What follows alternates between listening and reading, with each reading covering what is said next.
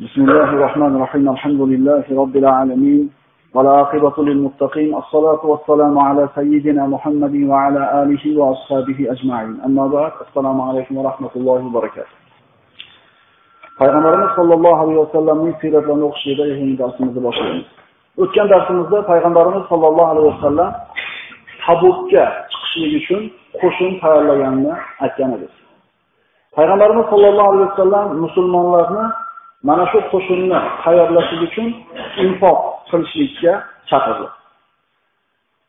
Kim ko'p mol olib keldi, kim ozroq mol olib keldi, munofiqlar o'tirib olib, ana shu infoq ehson qilganlarni muhokama qilishdi. O'zlari munofiq. Bir sahobiy katta mablag'ni olib kelib qo'yganida munofiqlar riyo O'zlari munofiq. Yana bir sahoba ozroq ozgina bir xurmo olib kelib o'rtaga tashlaganida ko'rib turib, nima qilardi buni olib kelib. Oz olib kelgan kishini hakam muhokama qilishdi, ko'p olib kelganda ham muhokama qilishdi. O'zlari hech narsa qilmaydi. Mana shunday bir tabiatli insonlar hozir ham yo'q emaski, xalq uchun, ummat uchun, musulmonlar uchun, mana shu qavm uchun foydali bo'ladigan bir ishga kirishilsa, o'zi hech qanday bir hissasini qo'shmaydi. Lekin shu ishni qilayotganlar ustida muhokama qilib, bizni tilda revizor bo'lib oladi. Bilib qo'yaylikki, mana shunday bir foydasi tegmasdan bir chekkada turib olib, foydasi tegayotgan odamlarni muhokama qilayotgan odamlarni tabiatida shunga o'xshagan narsa yo'qmi ekan? Bir tekshirib qo'ysin o'zi. Umar ibn Hattob roziyallohu anhu aytadi, ana shu tabutga payg'ambarimiz infoq qilishni talab qilganida aytadi, shu vaqtda menda ham bir oz mol to'planib qolgan edi. Ya'ni qo'limda ozgina mol dunyo to'plangan edi. Shunda Umar ibn Hattob aytdi, bugun Abu Bakrdan o'zib ketaman. Niyat ko'ring. Bir solih niyat ko'ringki, savobli bo'lgan ishda Abu Bakrdan o'zaman dedi.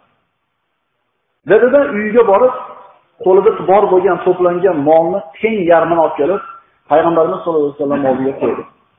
Rasululloh xursand bo'ldi va Umar ibn Hattobning haqlariga xayr duolarni qildi.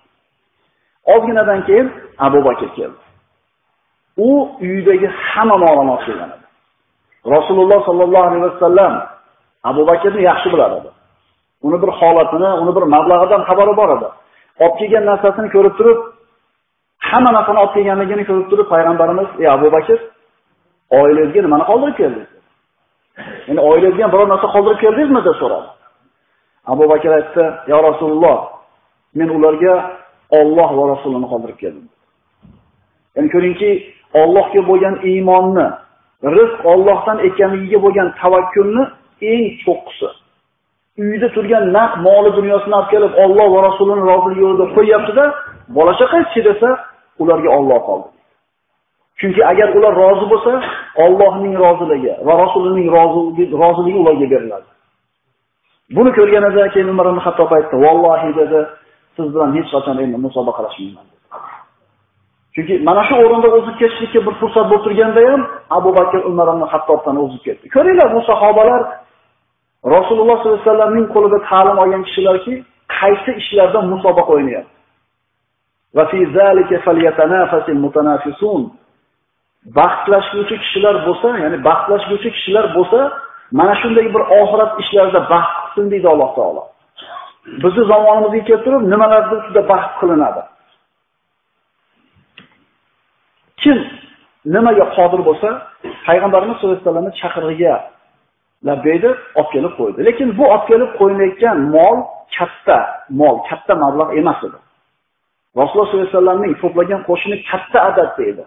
Katta adadlik qo'shinni jihozlagani albatta katta mablag' kerak. Va payg'ambarimiz sallallohu alayhi vasallam musulmonlarni shijoatlantirishlik uchun masjidga to'pladi hammasini. Hamda xosatan ahli davlat bo'lgan boy bo'lgan sahobalarni nazarda tutib, payg'ambarimiz sollallohu alayhi vasallam man yujahid jayshal usrati falahul jannah. Ha, har bitta odam qo'lidan kelgan narsani Alloh yo'lida infoq qiladi, lekin da'vat, mana shunday bir ishlar faqatgina ahli davlatlarda boy kishilarning qilgan infoqini ustida qoyim bo'ladi. Rasululloh davrida ham da'vat boy kishilarning qilgan infoqlarini ustida qoyim bo'ldi. Payg'ambarimiz musulmonlar yig'ilganlaridan keyin aytdilar: "Man yujashiz jayshal usrati falahul janna. Bu qo'shin jayshul usra deyildi. Ya'ni mashaqqat qo'shini. Chunki boyga aytganimizdek, ko'pchilikni jangga borishlikka kerak bo'lgan narsalar yo'q edi. Qiyinchilik bilan qilingan edi bu qo'shin. Kim mashaqqat qo'shinini jihozlasa, u uchun jannat dedi payg'ambar. Mana hozir qo'lida davlati bor bo'lgan kishilarga shunday bir imkoniyatki, payg'ambarimizdan aniq ravshan jannat mukofoti aytilmayapti. Kim mashaqqat qo'shini jihozlasa, u uchun jannat bor. Usmon roziyallohu anhu turdi. Ya Rasululloh dedi. Mendan 100 tuya dedi Jangchi uchun kerak bo'ladigan hamma narsalar bilan mendan 100 tuya dedi Payg'ambarimiz va'da qilgan birinchi va'dani Usmon roziyallohu anhu oldi. Payg'ambarimiz yana ko'proq infoq bo'lsin deb yana aytdilar. Kim mashaqqat qo'shini mashaqqat qo'shinini jihozlasa, u uchun jannat deb yana bir marta aytdi. Hech kim turmadi. Usmon roziyallohu yana turdi. Ya Rasululloh, mendan yana 100 ta deb tuyadi. Mendan yana 100 ta tuyadi dedi. Nima kerak bo'lsa jangchiga hamma narsasi mendan dedi. Rivoyatlarda keltirishicha, mana shu kuni payg'ambarimizning mana shu chaqirig'iga labbay deb Usmon roziyallohu anhu 7 yoki 10 marta o'rnidan turdi. Yetti marta jannatni bashoratini payg'ambarimizdan oldi. Alloh xohlagan ekan Usmon roziyallohu anhu beribdi birodarlar. Eslaylik, Usmon roziyallohu anhuni hayotiga murojaat qiladigan bo'lsak, payg'ambarimizning masjidlari, masjidi Nabaviy qorlik qilib qo'yganida Rasululloh masjidni kengaytirishlikka bir e, rag'batini bildirdi. Masjidni kengaytirishlik kerak degandek bir ishorani qilganida Usmon roziyallohu anhu shoshib masjidni yonidagi bitta uyni sotib oldida masjidni hududiga qo'shib qo'ydi. Usmon roziyallohu anhu masjidi Nabaviyga ham yer qo'shib berdi. Masjidul Haram Makka mukarramadagi kengaytirishlikka bir hojat qo'yganida Usmon roziyallohu anhu yana bir qancha hovlini olib masjidni ichiga qo'shib qo'ydi. Alloh Usmon roziyallohu anhudan olishni xohlabdiki, Usmon roziyallohu anhu oxiratga o'tkazibdi. Usmon roziyallohu anhuning mana shu qilgan mana shu kungi qilgan ishidan payg'ambarimiz qattiq xursand bo'lib, "Ma Usmon ma fa'ala ba'da al-yawm" bugungi qilgan ishidan keyin Usmonga hech narsaning zarari tegmaydi dedi. Ya'ni mana shu hadis Usmon roziyallohu anhuga bashorat bo'ldiki, Usmon roziyallohu anhuni avvalgi ham, keyingi ham qiladigan gunohlariga kafforat bo'ldi. aroblar kelib payg'ambarimizga uzr aytishdi. Payg'ambarimiz uzrlarni qabul qildi, ular qo'shilmadi qo'shinga. Chunki ular musulmonlar bilan birga bo'lsa ham musulmonga foydasi tegmasdi. Payg'ambarimiz buni bilardida, ularga o'zlarini qabul qilib bo'pti deb qo'shilmaslikka ruxsat berdi. Alloh taolo payg'ambarimizga itoat qildi shunda. Mana shunday qilganga Alloh taolo ma'lumot qildi. Payg'ambarimiz sallallohu alayhi vasallam qo'shini bilan Madinaning tashqarisiga chiqdi va mana shu joyda chodir tikdi. Toki yana kelib kimdir qo'shilmoqchi bo'lsa, o'sha joyga kelib musulmonlar bilan birga bo'lishi mumkin edi. Tabukka payg'ambarimiz 30 ming kishilik qo'shin bilan chiqdi. Bu Rajab oyida, 9-yilning Rajab oyida bo'ldi. Bundan bir necha oylar avval Makka fathiga payg'ambarimiz bilan bor yo'g'i 10 mingta odam kelgan edi. O'zgarish ko'rdi. Bir yilga yetmagan muddatda payg'ambarimizning qo'shini 30 mingga yetdi. Musulmonlar Madinaning tashqarisida Tabukka ketishlikka tayyorgarlik ko'rib turar ekan, Madinadan munofiq Abdulloh ibn Uzay ibn Salul ham chiqdi. Chiqdi, lekin musulmonlar muaskarga borib turmadi. Alohida muaskar tushdi. Va odamlarni o'zini oldida bo'lishiga chaqirdi. Munofiqlar Abdulloh ibn Ubay bilan bo'ldi va ayrim kishilar ham uni oldiga borib turdi. Endi qo'shin Tabukka qarab jilganida Abdulloh ibn Ubay hozir issiq havo ozgina sovisin, mevalar pishsin, havo salqin bo'lsin, keyin chiqamiz. Men qaytdim, sizlar ham qaytinglar dedi. Payg'ambarimiz sollallohu alayhi vasallam qo'shini bilan Tabukka qarab ketdi. Abdulloh ibn Ubayga ergashgan munofiqlar esa Madinaga qaytib kelishdi.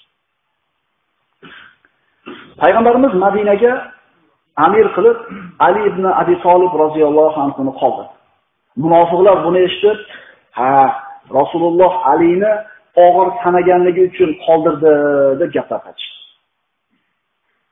Ali roziyallohu anhuga bu xabar yetganida norozi bo'ldida, qurollarini oldi, ulovni minib, qo'shin orqasidan quvib yetdi. Payg'ambarimiz Ali roziyallohu anhuni ko'rib, "Axir men sizni Madinada qoldirmaganmidim?" dedi. Ali roziyallohu anhu ya Rasululloh, odamlar siz meni og'ir sanaganingiz uchun qoldiribsiz, shuna deyishyapti dedi. Payg'ambarimiz aytdilar, "Vallohi unday emas" dedi. "Vallohi unday emas. Axir siz mening va o'zingizning ahlingizda mening o'rnimda bo'lishni xohlamaysizmi? Xorun alayhisalom Musa alayhisalomning o'rnida qolgandek bo'lishdi. Ya'ni Musa alayhisalomning o'rnida qolgandek meni o'rnimda siz qolishga rozi bo'lmaysizmi dedi. Ya'ni bilasizlar, Musa alayhissalom Alloh taoloning huzuriga ketganida gaplashgani Horun alayhissalomni o'zini o'rniga qo'yib ketgan edi. Horun Musoni o'rnida qolgandek meni o'rnimda qolishni xohlamaysizmi dedi-da, yana odamlar noto'g'ri tushunib qolishmasin. Ali Horunning o'rnida qolgan bo'lsa, demak Ali ham nabiy ekan degan tushuncha bo'lib qolmasin deb, faqat mendan keyin nabiy bo'lmaydi deb qo'ydi payg'ambar. Chunki shu so'zni aytib qolmasa, ehtimol odamlar ha Horun nabiy edi, shuning uchun payg'ambar o'rnida qoluvdi. Demak, Ali ham nabiy ekan degan tushuncha bo'lmasin faqat mendan keyin nabiy bo'lmaydi. Ali roziyallohu anhu rozi bo'ldi va Madinaga qaytib ketdi. Yana Madinada qolgan kishilardan bir 11 ga yaqin kishi, iymon bilan tanilgan bir 11 ga yaqin kishi qolishdi. Orqada qolganlardan Abu Haysama roziyallohu anhu. Abu Haysama qo'shin chiqib ketar ekan Madinadan, hozir chiqaman, hozir chiqaman dedi-da, qolib ketdi. Uyiga boruvdi. Uyida ikkita ayoli bor. Ikkalasi ham o'zlaridagi bir zebr ziynatlarni ilib, o'zlariga oro berib, uylarni supurib, sidirib, suvlarni sepib, hamma yoqda soya salqin qilib, Madinada erta pishadigan mevalarni avvalgilardan olib kelib, kutib turishgan edi. Abu Haysama uyiga kirdida, bu manzarani ko'rib, subhanalloh deb o'ziga. Rasululloh issiqda, shamolda, sahroda turganda sen ikkita ayolning o'rtasida soya salqin mevada o'tirasan. Bu insofdan emas dedi. Va ayollarga qarab turib "Vallohi kirmayman oldinglarga" dedi. Ulovimni ozuqalarini tayyorlab beringlar. Rasululloh oldiga ketaman dedi. Ya'ni iymonli odam qanday qilib bu narsaga rozi bo'ladi? Haqiqatan kirmadi, ulovlarini tayyorlab berganidan keyin, ulovini tayyorlab berishganidan keyin qo'shini orqasidan yetdi. qo'shini orqasidan yurdi. Musulmonlar ketib borar ekan, vaqti-vaqti bilan payg'ambarimiz qo'shinni to'xtatadi. Orqada biror bir odam kech qolgan bo'lsa, ulgib yetib kelmasligi uchun. Qo'shin damalib, damalib yurdi, Abu Haysama esa damalmadi. Chunki tezroq yetib olishligi kerak. Rasululloh 30 ming kishidan iborat qo'shinini kuzatardi-da, e'tibor bering, kim yo'qligini biladi Rasululloh qanday rahbar bo'lganligini bir mulohaza qilib qo'yaylik. Abu Haysama, Ka'b ibn Malik, Hilol ibn Umayya, Maror ibn Rabi, Abu Luboba va bir qancha sahobalar yo'qligini payg'ambarimiz bildi. Odamlar o'sha qolgan odamlarni malomat qilishdi. Ular undoq, ular bundoq deganda payg'ambarimiz unday demanglar. Agar ularda yaxshilik bo'lsa, Alloh bizni oldimizga olib keladi ular. Agar unday bo'lmasa, ya'ni yaxshilik bo'lmasa, ulardan qutulibsizlar. Tavilni qarang. Xayriyati bo'lsa, oldimizga Alloh olib keladi ularni. Agar xayriyati bo'lmaydigan bo'lsa, qutulibsizlar, shukr qilinglar. Odamlar qo'shin to'xtab turgan paytda orqaga qarashuvdi, bir odam kelayotgan qorasi ko'rindi. Ya'ni bir odam kelayotgani ko'rindi. Hamma faras qilishni boshladi. U falonchi, falonchi, falonchi. Payg'ambarimiz kun Aba Haysama. Abo Haysama bo'ldi. ozgina vaqtdan keyin hali oqliq yoki ulovni mingan kishi keldida, "Ya Rasululloh, bu Abu haysama ekan" deyishdi. Rasulullohning oldiga kelganida Rasululloh qattiq norozi edi bu sahobasidan. Abu Haysamaga qarab turib, "Avlalaka ya Abu haysama Avlalaka ya Abu Haysam." Ya'ni halok bo'lishiga oz qoluvdingiz dedi. Halok bo'lishi oz qoluvdingiz dedi. Payg'ambarimiz sollallohu alayhi vasallamga uzrini aytdi. Payg'ambarimiz mana shunday ma'lumot qildi va u kishini avf qildi. Qo'shin yurib borar ekan, Hijr degan joyga yetib keldi. Solih alayhissalom Samud qavmiga payg'ambar qilib yuborilgan edi. Ular yashagan joy hijr deb nomlanadi. Alloh taoloning balosi og'ir, bu qavm vayron bo'lgan edi. Ana shu vayron bo'lgan Samud qavmining yerlaridan musulmonlar o'tish olgan bo'ldi. Payg'ambarimiz bexabar bir qancha sahobalar suv yo'qligidan ana shu hijrga kirib, Samud qavmining quduqlaridan suv olishdi. Ana shu suvdan xamirlar ham qorib qo'yishni non yopgan.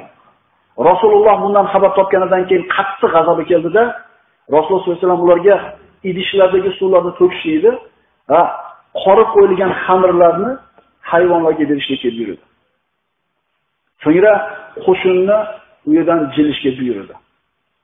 Aytdilarki, la tadkhulu buyutal ladina zalamu anfusahum illa wa antum bakun xaufan an yusibakum ma asabahum. O'zlariga zulm qilgan kishilarning uylariga kirmanglar. Agar kirsanglar, ya'ni kirishga to'g'ri kelib qolsa, ularga yetgan balo sizlarga yetmasligi uchun qo'rqib yig'linglar dedi. Mana shundan ma'lum bo'ladiki, Alloh taoloning balosi yoqqan, tosh yoqqan, yer yutgan, Allohning balosi, g'azabi tushgan joyga musulmon odamda kirmasligi sunnat bo'ladi. Bunday joyga kirishlik mumkin emas. Musulmonlar hijrdan chiqib ketishdi. Suv yo'q, 30 ming askarni suvi qolmadi. Kelib payg'ambarimizga shikoyat qilishdi. Rasululloh sollallohu alayhi vasallam qo'l ochib duo. qildi.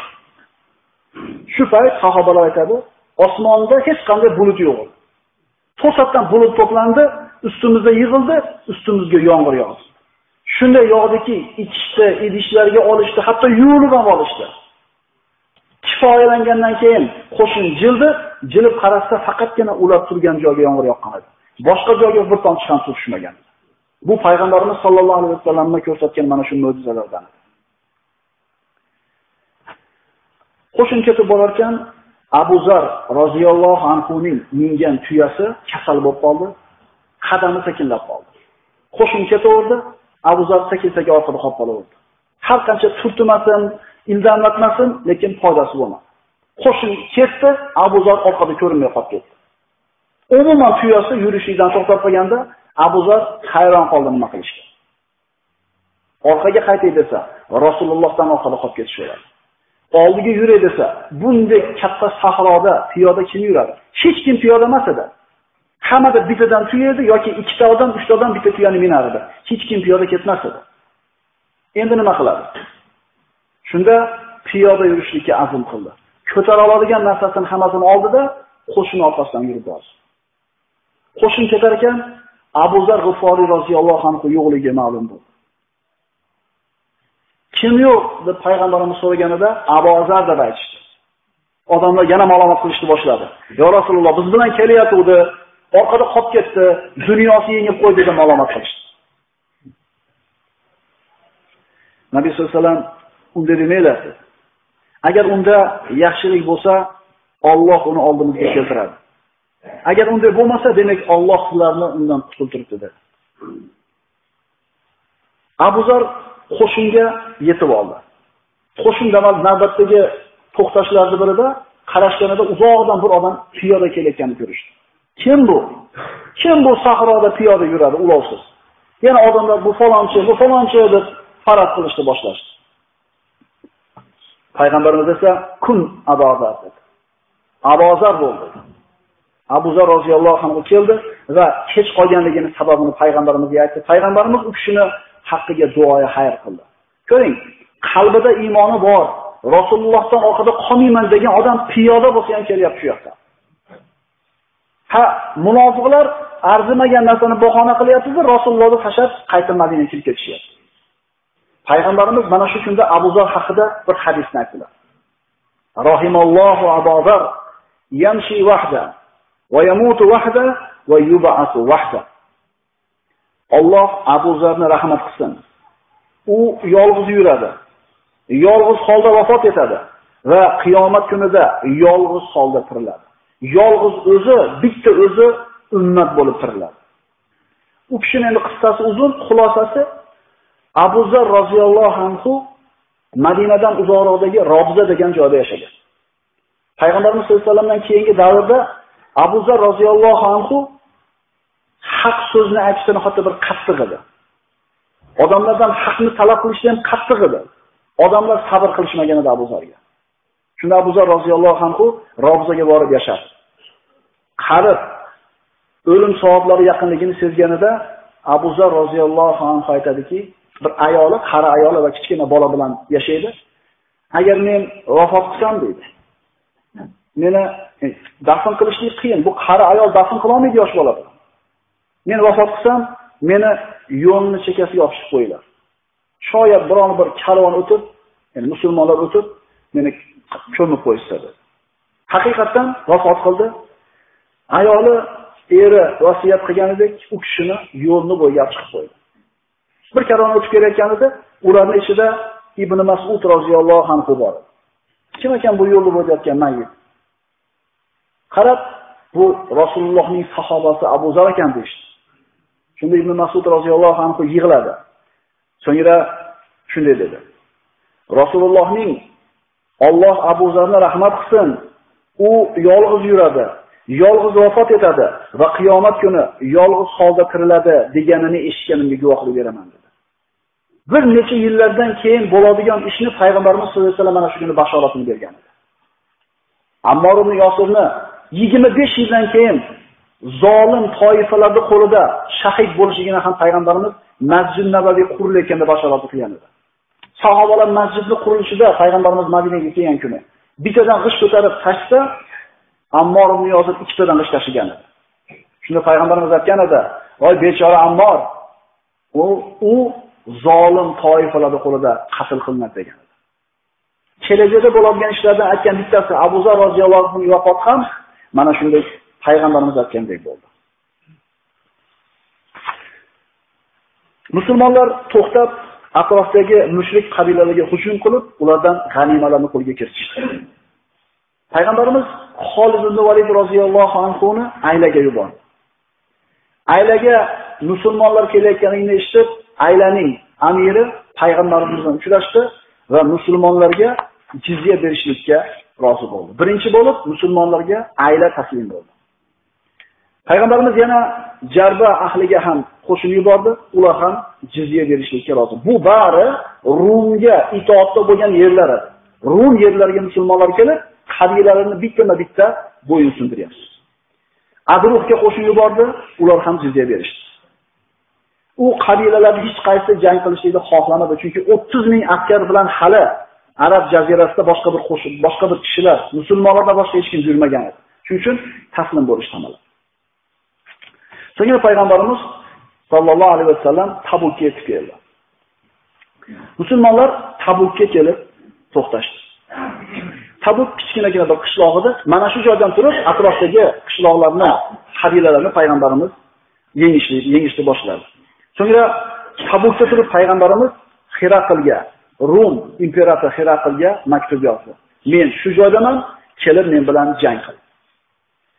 Payg'ambarimiz mana shu joyda turib, yaqin uzoqdagi qabilalarga qo'shin yuborib turdi. Davmatul Jandal. Davmatul Jandalni avval ham musulmonlar fath qilishlikka harakat qilgan edi, lekin Davmatul Jandal ahli qochib ketib jang bo'lmagan edi. Endi bu safar payg'ambarimiz Xolid ibn Valid roziyallohu anhu ni Davmatul Jandalga qo'shin bilan yubordi. Jo'natib aytdi.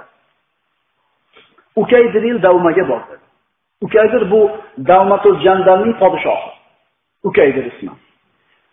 Ukaydirni davmaga bor, sen Ukaydirni ov qilayotganini topasan dedi. Xolid roziyallohu anhu hayron bo'ldi. O'zi jang bo'lib turgan vaqt. Undan tashqari kiyik sahroda nihoyatda nodir. Endi bu vaqtda jang bo'lib turibdi, Ukaydir musulmonlarga kelgandan xabari bor, qanday qilib ovga chiqishi mumkin? Lekin payg'ambarimiz aytgan so'ziga iymon keltirdi, chiqdi. Davmatul Jandal qasrlarga yaqin qolgan joyda to'xtadi-da, tunda yetib kelganida poylab turdi. Nabiy sollallohu alayhi vasallam aytganlaridek, Ukaydurul Davma podshohi o'qigani chiqish kerak. Ular tunda keldi, pistirmani qo'yib poylab turishdi. Shu payt tong yotganda sahrodan bir to'p kiyiklar ko'rinib qoldi. Yovvoyi kiyiklar. Ukaydir qasrning ustiga chiqib musulmonlar keldimikin deb kuzatgan shunday chiquvdi, yonida ayoli bor. Kiyiklarni ko'rib qoldi. Bu ov qilishni nohata bir yaxshi ko'radi. Qaradi, kiyiklar kiyikni ovlashligi uchun sahroga chiqib qancha kilometr yurishardi bular. otida, tuyasida. Endi kiyik o'zi kelyapti. Qarab turdi, kiyik qasrga yaqin keldi. Kelaverdi, kelaverdi, shunaqa yaqin keldiki, shoxini qasrni devoriga chiqarishni boshladi. U qasrni ustida turibdi, ovchi. Ayoli qarab turib, "Ey ukay" dedi. "Hal saloma aro" dedi. "Men ko'rayotgan narsani sen ham ko'ryapsanmi?" dedi. "Ha, ko'ryapman" dedi. "Birorta odam mana shunday qoldirib qo'yadimi?" dedi. "Yo'q, qoldirmaydi" dedi. "Bor, olib chiq" dedi. Ya'ni ov jihozlarini tayyorlashlikka buyurdi. Va boshqa bir qancha kishilar ham ovga tayyorgarlik ko'rishdi. Ular chiqishlikka harakat qilgan. Endi hozir shunaqa bir qulay holatki, qasrdan chiqadi, o kilometrlab istash yo'q, shuni ovqilari qatib ketadi. Reja shunaqa. Musulmonlarni kutib turganligidan xabari yo'q. Ular tayyorgarlikni ko'rib, qasrdan chiqquncha kiylar olgan uzoqlashgan edi. Ular chiqdi, kiylar jildi, jildi, ular orqasidan bordi, musulmonlar tomonga o'zlari borib qolgan bilmay qoldi. To'satdan Xolid ibn Valid qo'ygan pistirma hujum qildida, ular o'rtasida jang bo'ldi. Ukaydirning ukasi Hasson qatl qilindi. Ukaydir va boshqa hamma asir tushdi. Davomatul jandarning podshohi asir tushdi. Mana shunday bir ajib yo'l bilan qisqagina bo'lgan jang bilan Davomatul jangda musulmonlarni qo'li yurdi Ukaydirni payg'ambarimiz oldiga olib kelishdi. Ukaydirning ukasi Hasson oldiga chiqib kelyapti, nihoyatda bir oltinlar bilan, gavharlar bilan bezatilgan ipek kiyimlarni kiyib chiqqan edi. Endi o'lgan kishini kiyimlarini o'zi qator olib musulmonlarni oldiga olib kelganda, musulmonlar ko'rib uni kiyimni go'zalligidan, kiyimni bir hashamatdorligidan hayron qolib, uni tomosha qilishni boshlashdi. Shunda payg'ambarimiz sollallohu alayhi vasallam ularni bu ishiga qarab ta'lim berib, bu kiyimlarni chiroyiga qarab taajjublanyapsizlarmi dedi. Vallohi Sa'd ibn Muozning jannatda ishlatadigan ro'molchasi buni hammasidan ko'ra afzalroq dedi. Ya'ni oxiratda beriladigan ro'molcha dunyodagi eng zo'r matosdan ko'ra afzalroq bo'ladi. Ta'lim berdi. Dunyodagi ne'matlar bilan oxiratdagi ne'matlar taqqoslab bo'lmaydi. Ukaydir asr tushdi, ukasi qatl qilindi. Ukaydir musulmonlarning qo'shinini ko'rib turib, jang qila olmasligiga ahli yetdi-da, payg'ambarimizga jizya to'layman dedi. Payg'ambarimiz "Sen asirsan" dedi. Kim menga kafolat beradi seni qavming gapingni olishligini? U aytdi, Allohga qasam, qavmim meni gapimni qaytarmaydi dedi. Payg'ambarimiz rozi bo'ldi. Shunday qilib Davmatul Jandal musulmonlarga jizya to'lashdi. أقول قولي هذا وأستغفر الله لي ولكم سبحان ربك رب العزة عما يصفون وسلام على